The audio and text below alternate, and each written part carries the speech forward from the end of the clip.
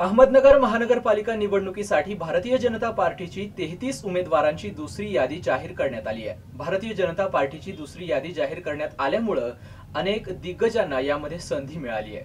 भाजपाची एक भक्कम फळी पार्टीनं उभारली आहे. सोशल मीडियावरून याचा जोरदार प्रचार सुरू आहे.